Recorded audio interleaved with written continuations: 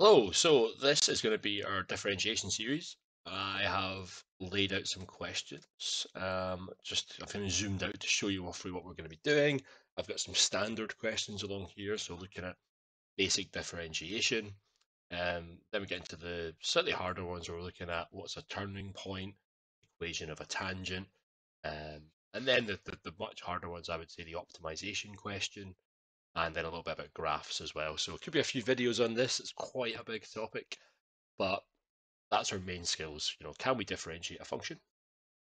Can we find stationary points and tangents?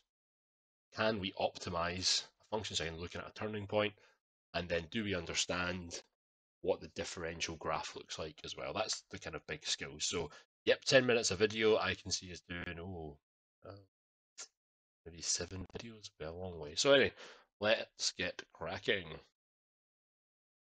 So I've left the answers on here because sometimes I think one or two of the answers aren't quite right.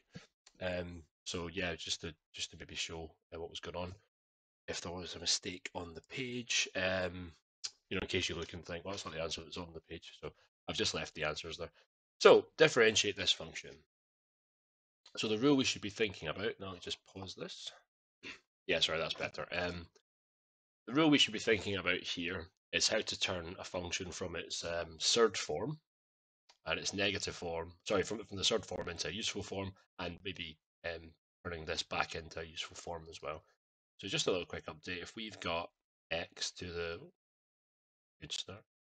If we've got x to the half, I can rewrite that as root x. And that's because the 1 stays where it is and the 2 moves round. Okay, so 1 stays put and the 2 moves round.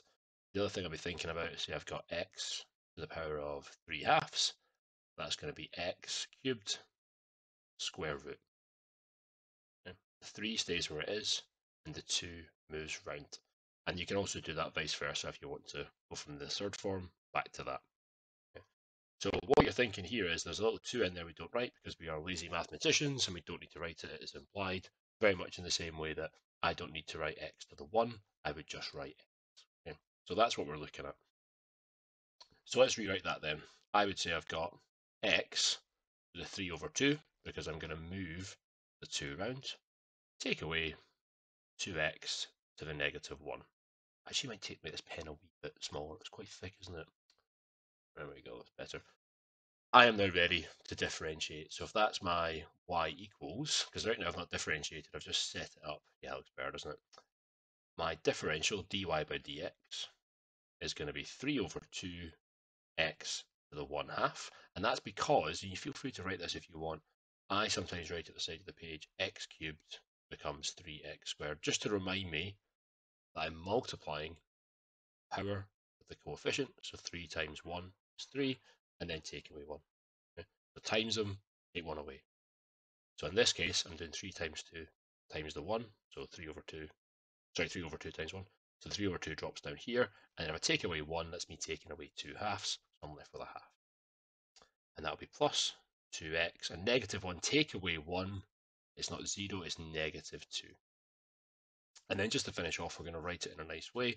So that would be me saying 3 over 2 root x. You could write that if you wanted. You could say that's 3 root x over 2. You could write that if you want. That's fine.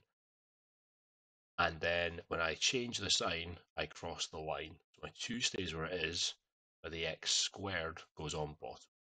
So the next part of this question, I think, is understanding that the x is separate from the coefficient. Okay, so here this root, for example, doesn't cover the 3 over 2. And here with a negative, when I cross the line, the 2 does not go underneath with me as well. So yeah, that's our kind of our main differential rules. Rewriting the surds, and then, like I said, multiply, take one away. Let's try another one. So rate of change. This is another nice way of saying the differential. If you're not really sure when you see a question like this, if you're not sure if it is differentiation, just do some differentiation. You know, you might get a mark for it. Okay? But yeah, rate of change, things like you know acceleration, the gradient, um, slope, all these kind of you know the optimization. These are all kind of words that are associated with um, with differentiation.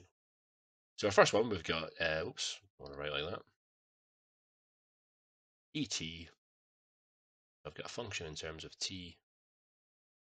Uh, then that's that. Okay. And at the side there, we've just got our um, know the rules of the function. We can't t can't be equal to zero because I can't divide by zero, so you just ignore that. And we want to know the rate of change when t is five.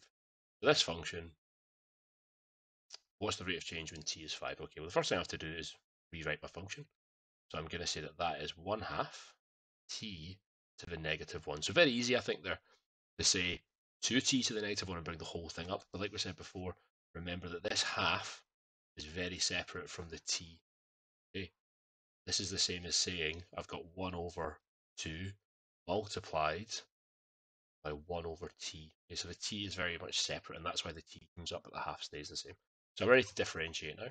And then I can say I differentiate, and I'm just going to put it aside. I'm going to remind myself. To differentiate? x cubed would become 3x squared. Okay, so times them, one away, right? Times them, take one away. So times them, I get negative a half. And I take one away, I get negative 2. I can't leave it like that. I can't really do that sum. So let's rewrite it nicely. So negative 1 over 2, because it's a half, and the t is going to become positive. When I change the sign, yeah, I cross the line. Absolutely. So that looks nice to me. That's my d over t. And my final mark will be for substituting in 5. So I'm going to say, okay, well, I want to know what the rate of change is when this function is 5. So negative 1 over 2, 5 squared. So 25 times 2 is 50. Negative is going negative 1 over 50. There's a few places to trip up there, I think. First of all, it's bringing that half up. That's easy done. And then again at the end here, it'd be quite easy to think, well, I don't know what to do. Um, so you need to rewrite this so we can do the sum. Right now we can't really, I can't really do that in my head. I can do this one and then forgetting to substitute in at the end as well. So I've used all the information on the question. That, that's a good technique as well. You know, if you once you use the information, you know, Scott, I've used this, I've used this. We don't need to worry about that. Don't worry about that. Um, but yeah, once you've used it, score it off if you want. So for that, definitely works for the bigger questions. And I think we can just about manage this. What, uh, two and a half minutes to go. So find dy by dx. So that's quite nice. It's just told you, right? Differentiate. No ambiguity in this question. I'm just going to write that with x to the half. Okay, so again, when you see a surd, you need to put it into this fractional index so you're able to differentiate it.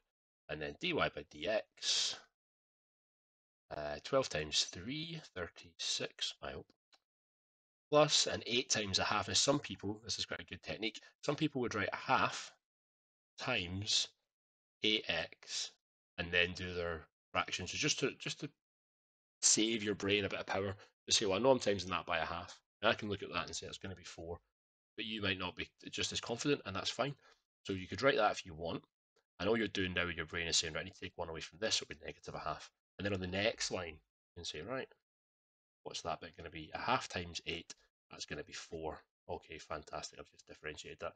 Because if you were to get a function like, you know, 4x to the 3 over 2, you could then differentiate that and say, okay, well, that's 4, uh, sorry, that's 3 over 2 times 4x, that become a half, and then you would do your 4 times 3 is 12 divided by 2, rather than do it in you know one big step. So you might decide you want to write it like that. And just to finish off, obviously, we have to then write, we'll write it with a positive power, so that's going to be 4 over root x. Take that below, it's going to be 1 over x to the half, and then x to the half becomes my root. Uh, two seconds. And yeah, I think this is one of the, the little mistakes. I think the first, this is the last term in the answer, so I think they've, they seem to have missed this. Um, unless you know something I don't, you know, let, let me know. But um, yeah, that's our um, first video then with the kind of easy differential questions. So you're watching out for phrases like rate of change, dy by dx, obviously, and your big rules are turning your surds into your fractions. When you change the sign, you cross the line, and remembering the overall concept, you know, something like x cubed is going to become 3x squared. So multiplying this and this, and then taking one away. So just the very last one before I get cut off, you know, 3x to the 4 going to become 12x to the 3. But maybe write something like that on the side of the page just to remind you. And yeah, next video coming up. Hope that was helpful.